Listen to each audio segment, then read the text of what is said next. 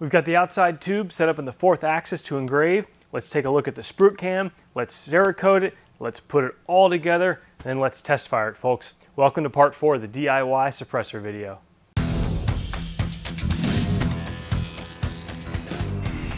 I forgot in part three to show off the monocore. Flipping it worked great. You can see a groove, but you can't even feel it. So that's great. Well, I'm actually curious to see if it totally goes away when we sandblast it here in a few minutes before Cerakoting. And I'm filming this on the Wednesday that part two came out, so I've only had a chance to see some of the comments, but a lot of great comments, folks, on how to flip it. Two that I thought were really stand out, um, and I think a number of folks had these. One was to machine this block to the same nominal outside diameter as the monocore so that when you put it in the vise, you didn't even have to use a gauge block as a feeler gauge. It would have just self-aligned. The other one, which I think in my opinion was even better, was leave a little bit of extra material out here, machine that into a square surface. That is dead nuts, perfect, easy, reliable, and then you can easily turn that or machine that down later. So uh, let's dive into the SprutCAM. I made one change to the design, which is I've added a slot in the outer tube and we're going to pin, uh, put a little dowel pin in here. It's going to serve a couple of purposes. It's going to keep the clamshells separated approximately. It's going to keep the tube, outer tube, clocked correctly, which isn't a big deal except for it'll be nice to know that the text is always sort of at 3 o'clock from the shooter's perspective. But most importantly, you're going to want to use the tube to twist the suppressor on and off, and that will keep it from rotating. It's pretty tight right now, and the Cerakote, I'm actually nervous, might make it too tight because that stuff does add about a thou on every surface.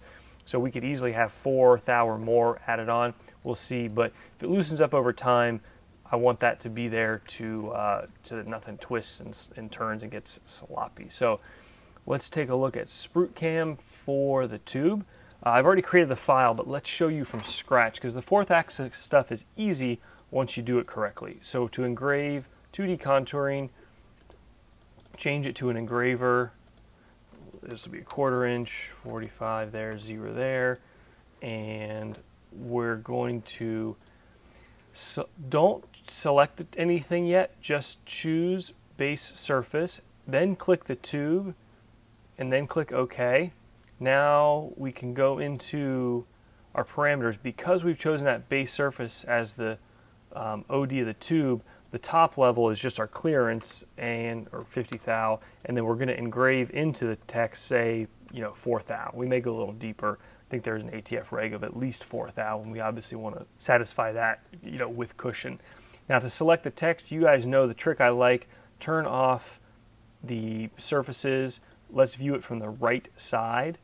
And then what we can do is scroll, hold down and drag a box around everything, and then hold down the Alt key and start deselecting stuff. It's a little bit of a pain in the butt because you've got the um, angle here, but it's still a lot better than trying to select one at a time. And if you make a one little goof, it's not a big deal to fix it all. This one will be is this one will be a little bit easier, less of a slope. So you guys get the idea. Let's uh, finish this one up and we'll take a look just to make sure I'm got it all correct here. We'll deselect that whole one. So you can see there, we've got most of the stuff selected, some stragglers on the top there, no big deal. Choose curves, click one, control A to select them all, take off the offset function, tool, or you know, the radius offset of the tool. That we were engraving right on the line because we're using an engraving bit. This takes a little bit of horsepower to calculate all those lines.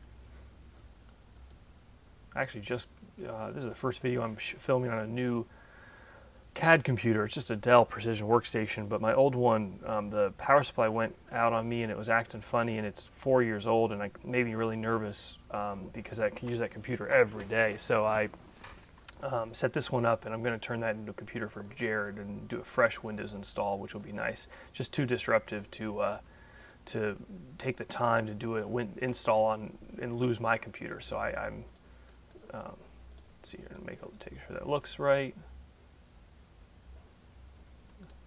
Are we going too deep? Yeah, hold on, we're going way too deep. Did I do something wrong? 4 thou, not 40 thou. But this way I was never, there we go, I was never down a computer. Um, I have two running right now and I'll finish moving everything off. This stuff, this, some stuff's such a pain in the butt, like all your Arduino programs or printer setups and labels printers and all that stuff, but uh, we'll get her going. So you guys can see that's clearly working. So let's pull open the other file.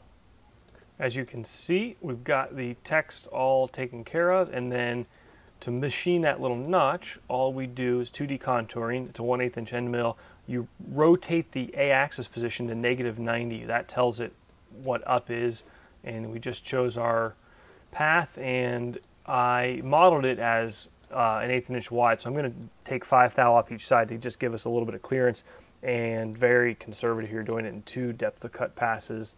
Um, you know, we're actually doing three because I don't have the tube supported out there, and um, it's just going to literally the operation is going to take. I'm willing to bet it's way less than even a minute um, being slow. Yeah, 28 seconds. Great. Let's head over to the machine.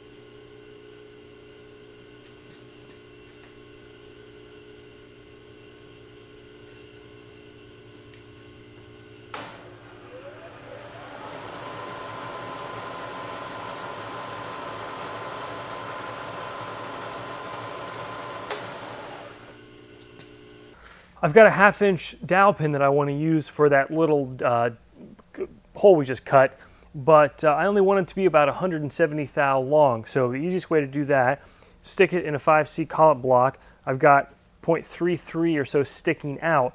So what we're going to do is go to the bandsaw, I'm going to cut that off, and then we're just going to grind it pretty, belt grind it pretty close to flush, and that should do the trick. I'll be right back. All right, let's use some oops, green Loctite 648 it's actually a pet peeve when people call Loctite by their the color, red, blue, all that. Um, this this happens to be one of their retaining, yeah, retaining compounds. It's per, it's great for just this stuff where you want to drive a pin in, and it may be sort of a light press fit anyway, but you want it to stay. This stuff is great. Totally different. Um, totally different than their thread locking compounds. Okay punch, try to keep my hand out of the footage. Oops. Tighten that down. Yes, I know I need to buy a proper spanner wrench for that. Just bad habit. And put my eyeglasses on. Shit.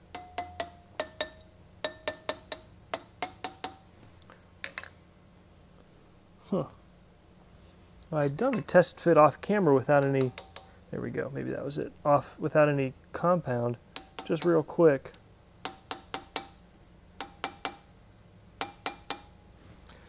Let's choke up a little on the can. I don't want to uh, be hammering on the monocore.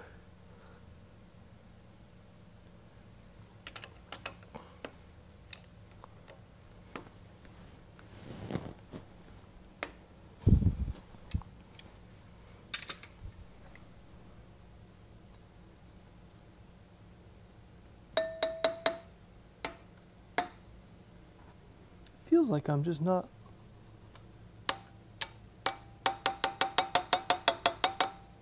feels like I'm just not lined up. Um, all right, let's use my hand in the way and there it goes. There it goes. I really just want it just a little bit below flush. Like it a hair lower I think it'll fit deeper. Make sure, yep, I'm in there in the vise. There we go. Perfect. Now, hit it once more.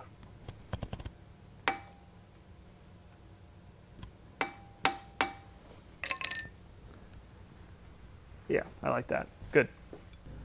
All right, so we've got monocore, tube, clamshells, and the nut. Let's throw it together just once to show you how it fits, because that's going to be the question is how does it change after Cerakoting.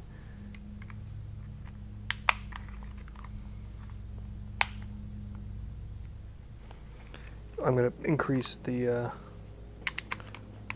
there it goes. So it's snug as you can see, probably too snug. Um, I actually really like having this end block because when I want to push it out, I'm not pushing on the threads with something.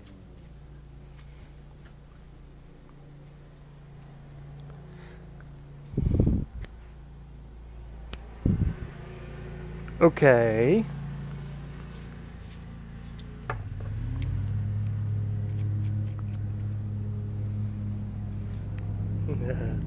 Folks, I think that's pretty badass. Take a look. Um, awesome. Now, I would love to test fire it right now as much as you would like to see it test fired. Not going to happen because Cerakoting is easy when, the, when it's done right, which means clean parts, and there's no reason to get fouling all over this thing. So, let's Cerakote. First, I am going to just give it a quick clean off in our parts washer. Can't hurt to get some of the stuff off. Then over to the blast cabinet, it's an aluminum oxide uh, grit. I think I actually bought this from Harbor Freight, the current media. Let's try something really stupid. Let's take a perfectly good, almost brand new, four or five hundred dollar GoPro Hero 4, whatever their name is, plus black, limited, blah blah blah, silver, gray, platinum. Let's put it inside the blast cabinet.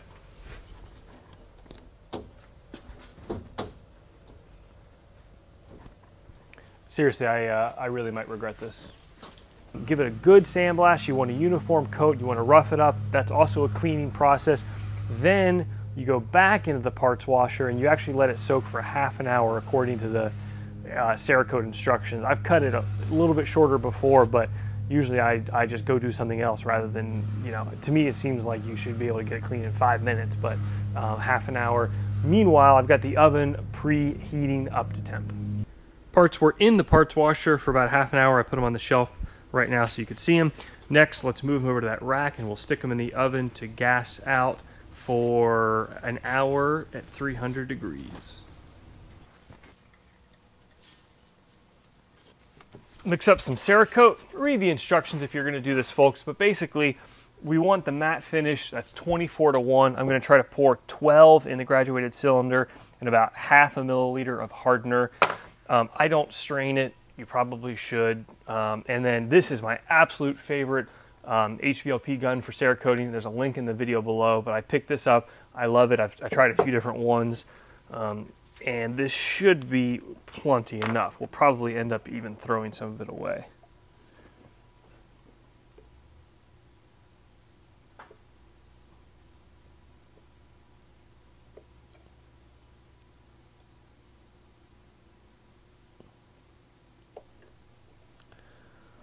The ratio is not incredibly precise as is evident by the fact that 24 parts of this to one part of that is a matte finish 12 or half that to one is semi-gloss. So it's not going to affect the uh, quality of your Cerakote job. It's just, again, the um, finish of whether it's matte or gloss.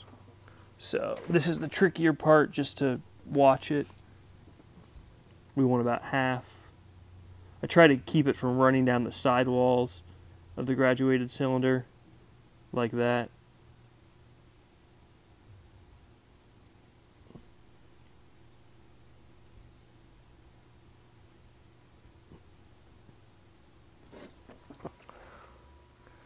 And then you're supposed to use a glass swizzle stick.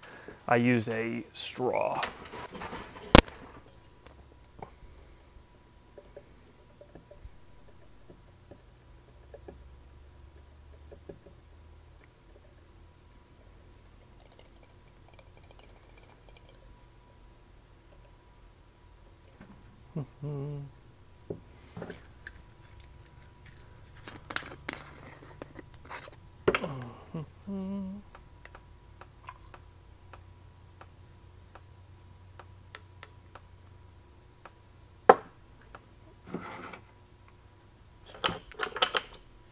Grab our respirator and let's go Cerakote.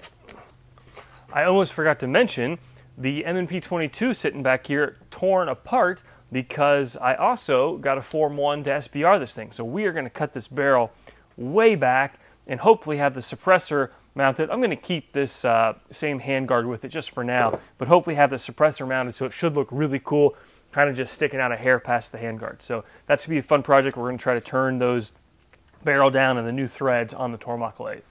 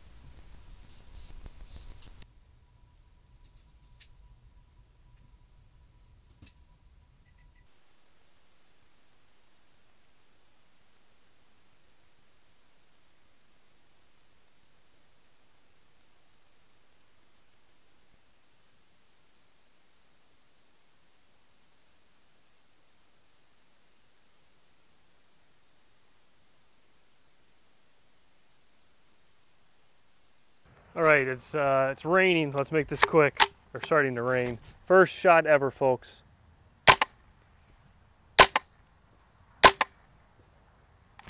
Can you hear that? Oh my gosh. Close range into the ground. That works. Awesome. Oh, that is awesome, folks. Look at this. Look at this thing. Holy cow. I think the lighting's not great. You can see the little stud work. This is freaking awesome. Awesome.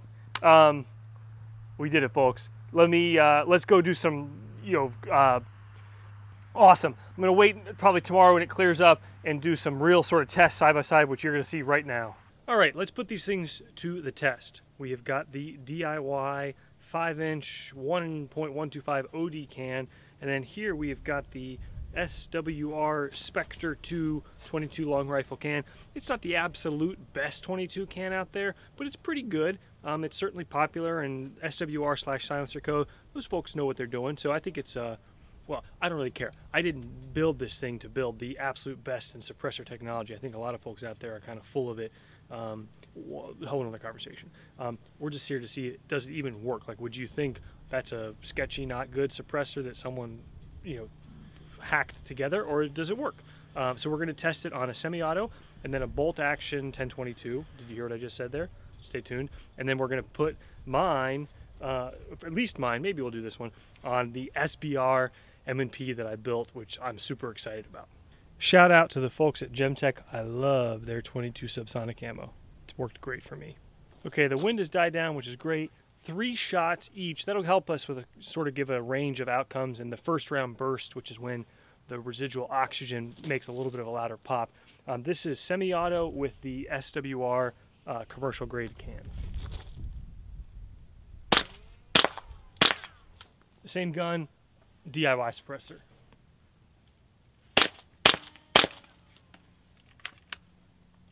Now, semi-auto is going to be a lot louder in the sense that there's going to be um, noise from the action as well as some gas uh, leaking out. So we'll try here with the bolt in a second. I also just wanted to mention, folks, I'm aware that there is a truck in the background.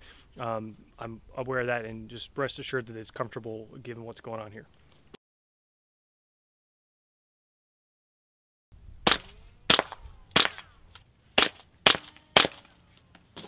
Bolt action 1022. What's that mean? This is one of my favorite guns. This is a PWS or primary weapon system. They're known for their ARs, um, but they make this thing called the Summit 22, and it is a biathlon style action or straight pull bolt. Phenomenal for shooting uh, suppressed because you can get a relatively quick action cycle, but you're not plagued by the um, issues with sub subsonic ammo on a leaking noise out, and sometimes subsonic ammo doesn't run as reliably. This takes that risk out of it. It also has, I forget who makes this. Oh, there you go, Tactical Solutions. It's a shortened barrel that has a pinned and welded end cap, which means it's not a short barreled rifle, so you don't need any paperwork for the, the gun itself, but it lets us thread a suppressor on the end and not add to the overall length of the firearm. So we're going to do two shots here. Now, uh, to shoot the DIY can, unfortunately it's too uh, wide OD for this shroud. So what we're going to do is use that black 1022. I'm just going to hold the bolt shut. Won't be perfectly the same, but pretty close.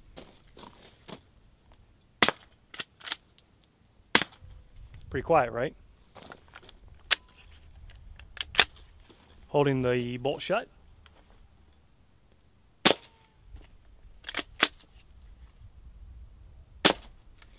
We'll have to see when we, we edit this what they sound like, but to honestly, uh, honestly, I feel like mine's quieter, and I don't, I'm not saying that to be uh, self-serving, but I'll put it this way: the DIY suppressor absolutely does not sound like some you know hack job that only has half the suppressing value. So that's a win.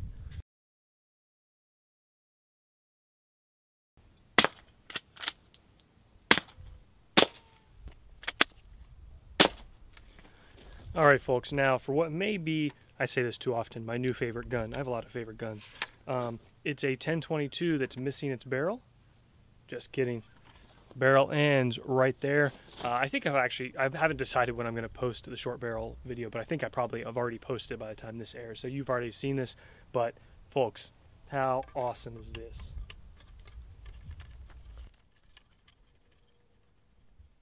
This gun, this gun weighs nothing. What a fun, cool little package. Let's see how she sounds. All right, folks, unfortunately, you know, 22 ammo is a little bit scarce, so I only have a few rounds left. Just kidding. Let's dump a mag.